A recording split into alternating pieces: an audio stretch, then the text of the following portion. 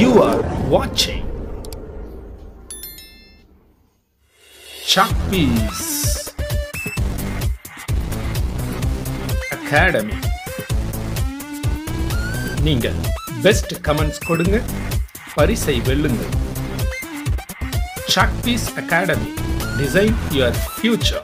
English coaching, YouTube, WhatsApp, and live.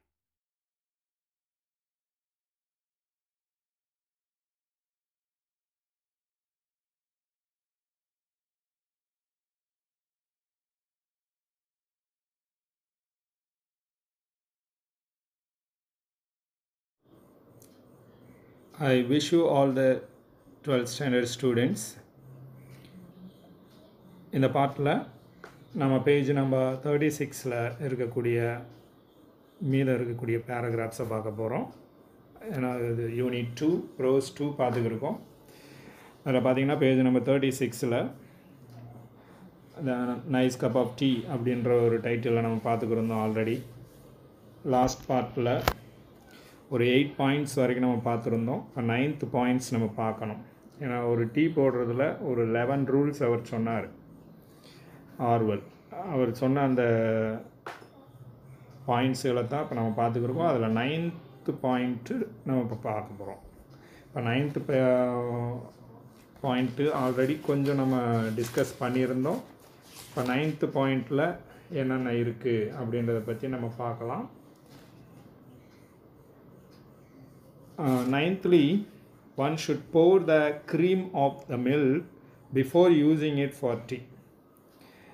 இப்போ ஒன்பதாவது point அவர் என்ன சொல்கிறாரு அப்படின்னா பாலில் வந்து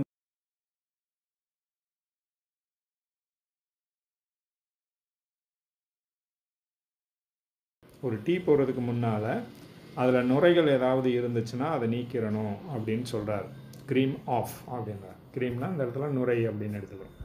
Milk that is too creamy always gives tea a sickly taste அப்படின்றாங்க. ஏன்னா மில்க் தான் டீனுடைய டேஸ்ட்டை கூட்டுறது குறைக்கிறது.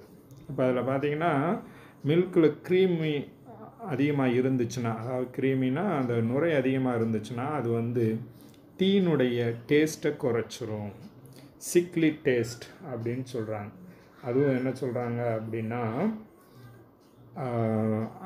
ஒரு பிசு பிசுன்ற ஒரு மாதிரி ரொம்ப கொல கொலன்னு இருக்கும்னு சொல்லுவாங்க. ஒரு பிசு பிசுப்பை ஏற்படுத்தி விடும் அப்படின்றாங்க சிக்லி டேஸ்ட். அதுவும் இல்லாமல் அந்த டேஸ்ட் வந்து ரொம்ப நல்லா இல்லாத மாதிரி ஒரு டீயை கொடுத்துரும் அப்படின்னு சொல்கிறாங்க ஸோ மில்கை செலக்ட் பண்ணுறது ரொம்ப முக்கியம். அதில் க்ரீம் இல்லாமல் பார்த்துக்கிறணும் நுரை இல்லாமல் பார்த்துக்கிறணும்னு சொல்கிறார் ரைட் அடுத்து இப்போ நைன்த் பாயிண்ட் பார்த்துட்டோம். இப்போ நம்ம பார்க்க போகிறது tenth point tenthly one should pour tea into the cup first எப்பொழுதுமே நம்ம டீ போடுற பொழுது ஃபஸ்ட்டு வந்து நம்ம வீடுகளில் என்ன பண்ணுவாங்கன்னா பாலை வந்து சுட வைப்பாங்க. அதுக்கப்புறம் டீ டிகாக்ஷன் அது இதுன்னு போட்டு இது பண்ணுவாங்க. ஆனால் இவர் என்ன சொல்கிறாருன்னா first one should pour tea into the cup first கப்பில் முதல்ல டீயை தான் ஊற்றணும் நம்ம சுடுதண்ணியில் வேக வச்சுருக்கக்கூடிய அந்த டீ இருக்கு இல்லையா? அதைத்தான் நம்ம வந்து ஊற்றணும் கப்பில்.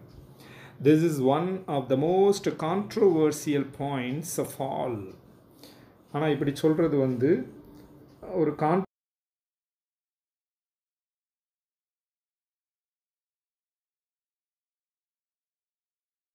இந்த விஷயம்.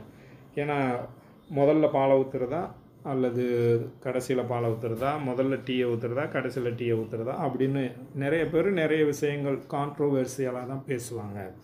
Indeed in every family in Britain அதுவும் எங்கன்னா பிரிட்டனில் இருக்கிறவங்க இதை கான்ட்ரோவர்சியலாக தான் பார்க்குறாங்க there are probably two schools of thought இந்த டூ ஸ்கூல்ஸ் ஆஃப் தாட்ன்றதை நீங்கள் கொஞ்சம் அண்டர்லைன் பண்ணி பார்த்துக்கிறணும் ஸ்கூல்ஸ் ஆஃப் தாட்னோடனே நம்ம ஸ்கூலை பற்றி அவங்க சொல்கிறாங்கன்னு நம்ம மீனிங் எடுத்துக்கிறக்கூடாது. இந்த இடத்துல வந்து இரண்டு விதமான மனநிலைகள். அதான் two schools of thought schools of தாட்னா மனநிலைகள். டூ ஸ்கூல்ஸ் ஆஃப் தாட்னா இரண்டு விதமான மனநிலைகள் கொண்டவங்களாக இருக்கிறாங்க. எங்கே இருக்கிறவங்கன்னா பிரிட்டனில் இருக்கக்கூடியவங்க. ஆன் த சப்ஜெக்ட் இந்த டீ போர்ன்றத இந்த சப்ஜெக்டில் ஒவ்வொருத்தரும் இரண்டு விதமான பா எண்ணங்களை கொண்டவர்களாக இருக்கிறார்கள். த மில்க் ஃபர்ஸ்ட் ஸ்கூல் அதான் சொன்னேன்.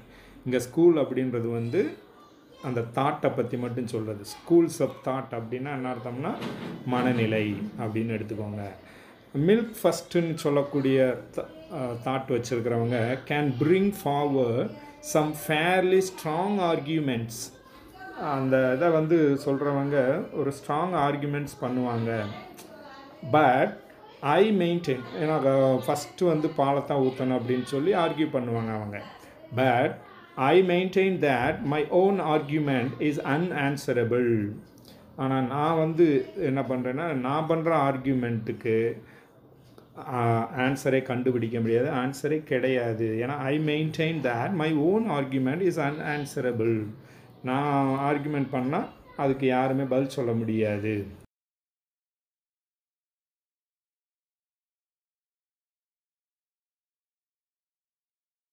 Exactly regulate the amount of milk whereas one is liable to put in too much milk if one does it the other way around அப்படின்னு சொல்கிறாங்க so this is that by putting the tea in first முதலில் டீயை தான் ஊற்றணும் அப்படின்னு சொல்கிறது தான் என்னுடைய பாயிண்ட்டுன்னு அவர் சொல்கிறாரு and stirring as one pours அதை ஊற்றி கலக்கிறணும் அதுக்கப்புறம் தான் மில்கை ஊற்றி கலக்கணுன்றதை சொல்கிறார் one can exactly regulate the amount of milk அப்போ தான் அதில் போதுமான அளவு மில்கை ஊற்றி கலக்க முடியும். ஃபஸ்ட்டு டீயை ஊற்றிட்டு அதில் போதுமான அளவு பாலை ஊற்றி கலக்கிடணும் அப்படின்றதான் என்னுடைய ஐடியான்னு அவர் சொல்கிறார் வேறஸ் அதே நேரத்தில்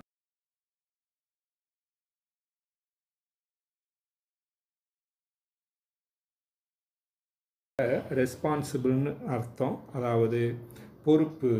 ஒன் இஸ் லயபிள் அவர் தான் பொறுப்புன்றார் யார்? To put in too much milk அதிகமாக பாலை முதல்ல ஊற்றிடுவாங்க இப்போ பாலை ஊற்றி செய்கிறவங்க வந்து பார்த்திங்கன்னா ஃபஸ்ட்டு பாலை ஊற்றுனாங்கன்னா நிறைய மில்க் ஊற்றி விடுவாங்க if one does it the other way round so liable to put in too much milk if one does it the other way round அப்படி பண்ணுறவங்க அந்த அதுலேருந்து கிடைக்கக்கூடிய டீ அவ்வளவு நன்றாக வராது அப்படின்னு அவர் சொல்கிறார் அதுக்கு பொறுப்பு அவங்க தான் whereas one is liable to put in too much milk if one does it the other way round.